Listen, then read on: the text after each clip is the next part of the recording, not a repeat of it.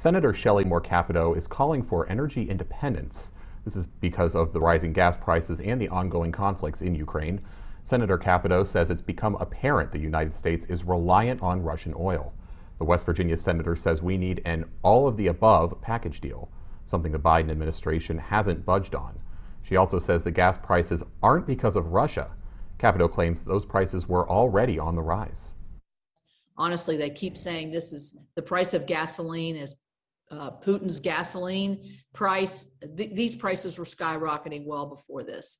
So we are uh, watching um, watching what's going on over there very very closely, and uh, I'm fully briefed on the situations.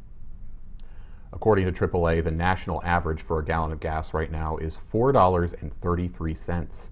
West Virginia's average is slightly lower than that at $4.11.